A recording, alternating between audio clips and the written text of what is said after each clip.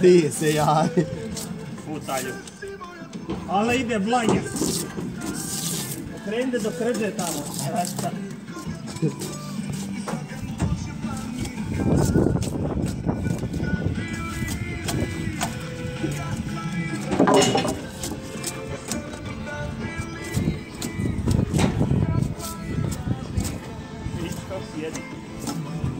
Vidiš kako sjedi.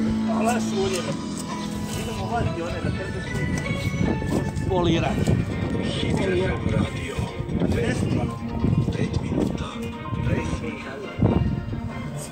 Dobar dan. Najmanje 23 osobe su uhapšene u raciji koju je organizovala francuska policija u vezi sa terorističkim napadima koji su se u petak dogodili u Parizu. Najmanje 104 osobe su stavljene u kućni pritvor. Belgijska policija Čekaj, jeba im ja mater, 13. u novembra. Briselskoj četvrti Molenbeek koje se smatra leglom radikalnih islamista. Pa evo. Hvala, mast. Evropske unije, a prema pojedinim izvorima čuje se podsnjava. Belgijski mediji javili su je u raciji uhapšena jedna osoba.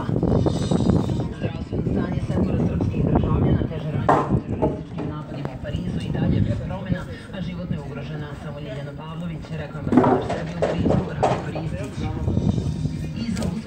ustanovama će dobiti jednokratnu pomoć od po 7000 dinara, rekao je premijer Srbije Aleksandar Vučić. Jednokratnu pomoć već su dobili prosvetni